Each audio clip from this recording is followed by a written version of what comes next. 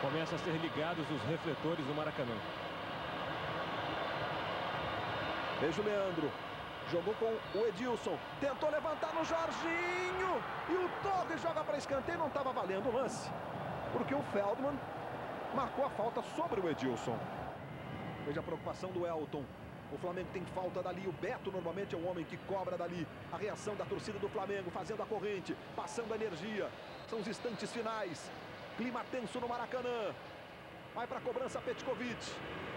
Bate muito bem, já fez nove gols de falta com a camisa do Flamengo. Aí o Alessandro no banco. Petkovic para falta, cobrança! Gol!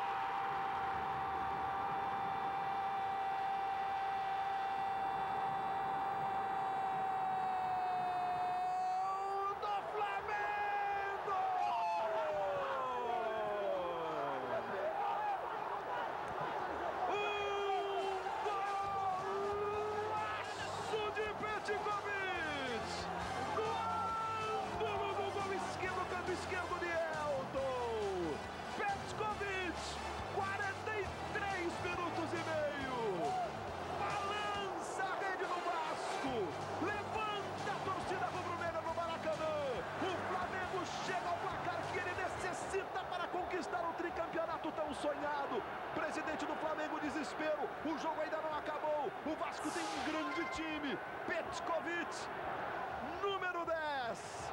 Mas o terceiro dele no campeonato, décimo em cobrança de falta com a camisa do Flamengo.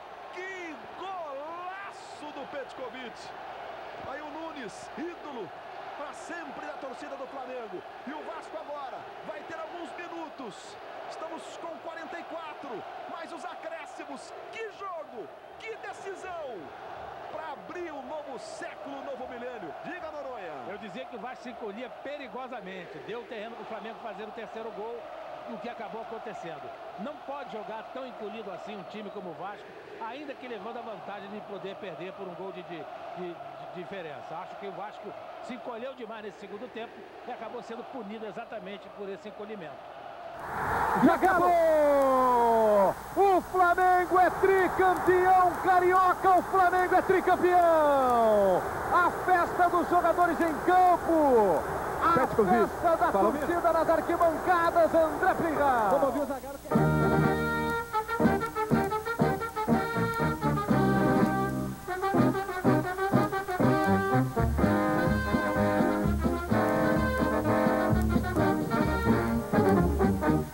Uma vez Flamengo, sempre Flamengo, Flamengo sempre eu hei de ser. É o meu maior prazer vê-lo brilhar, seja na terra, seja no mar, vencer.